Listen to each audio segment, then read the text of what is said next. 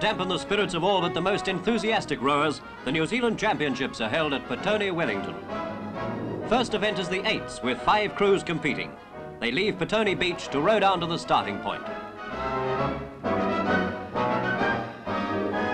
Mr. Carter, the starter, talks the boats into their positions. And then they're on their way, a good start with the Star and West End crews setting the pace.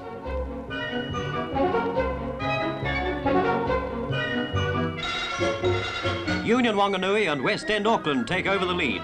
The first quarter mile is fast. The boats slice through the calm but dull waters of the harbour.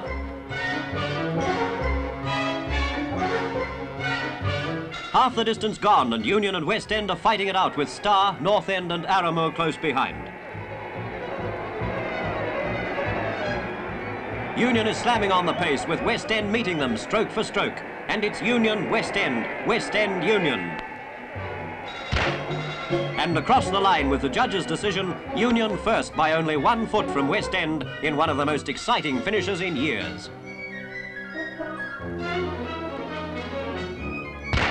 And it's back to the start in time to see the Single Sculls Championships. J.R. Hill, 1960 Olympic representative, pulls out in front right from the report of the starter's gun. Up the course and the boats are already spread out with J. Worth second and D. Story third. Hill rows with confident, easy strokes. He might almost be out on a Sunday afternoon paddle.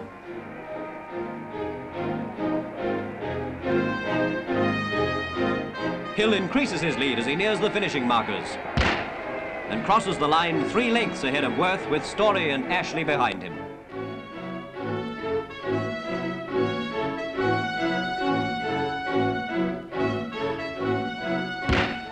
An hour later, the fours leave the mark and Oamaru takes an early lead.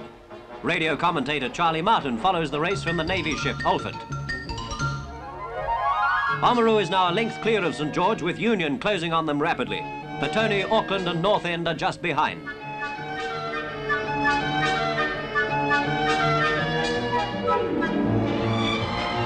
The finishing line is right ahead and the boats are in full cry. Oamaru still out front.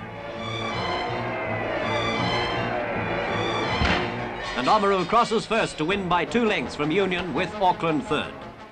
The winners for the major championship trophies have been decided for 1961.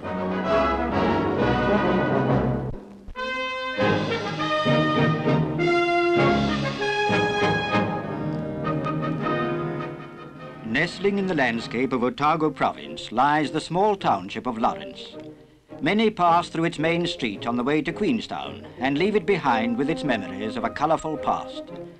For it was here, in nearby Gabriel's Gully, that a prospector, Gabriel Read, made the discovery that transformed the valley into a huge sprawling town of tents, huts and claims, and brought thousands of gold-hungry miners into the province. Now, a hundred years later, the past has come to life again, and once more, hundreds are converging on the town of Lawrence. Once more, its streets are filled with the sound of men and horses, and the gathered crowds watch the pioneers' wagons as they rumble again over once familiar ground.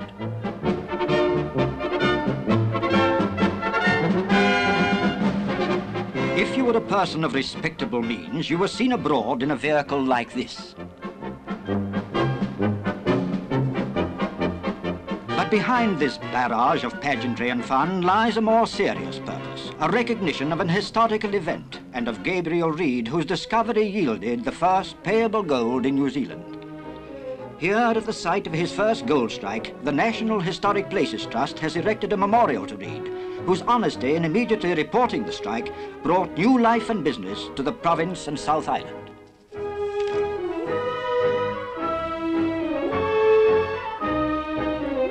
The memorial plaque is unveiled by Mrs. McIntosh, the oldest living resident of the district. It's a proud moment as she sees full recognition given to the place that has been her home for 85 years and to Gabriel Read, whose integrity and determination marked him as one of New Zealand's great pioneers.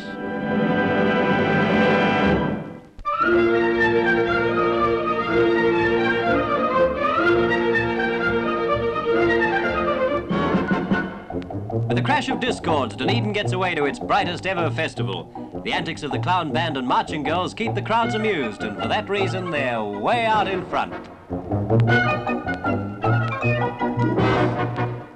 It's hats off to beautiful Sally Skeets, Dunedin Festival Queen. But definitely hats on again for the military parade when the 1st Otago Southland Regiment receives the freedom of the city. The Mayor of Dunedin, Mr. Sidey, inspects the parade.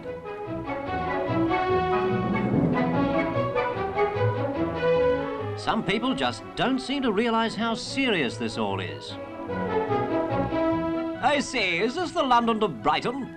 No, but it might well be with the biggest lineup of vintage cars that the city has seen. The Governor General has a look at the ancient entries before the race begins. I say, what a huge rubber band. Official starter Viscount Cobham stands ready to flag away the cars in best Grand Prix tradition.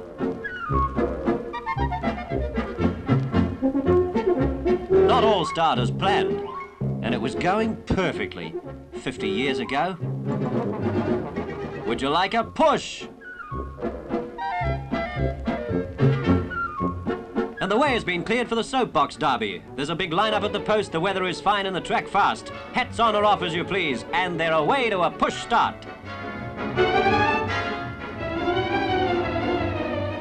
What? Backing out already?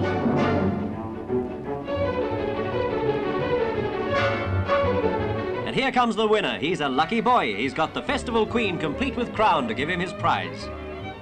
But it's crowns off when she visits HMNZS Otago, which is open for inspection. The most recent to be commissioned for New Zealand, Otago was launched in 1960 and has the latest in equipment.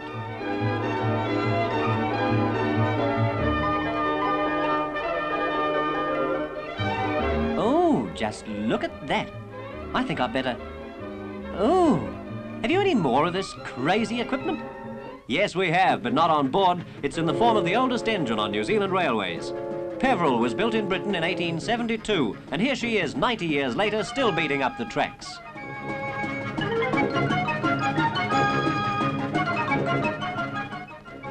Fair time at the showgrounds where the farm has come to town.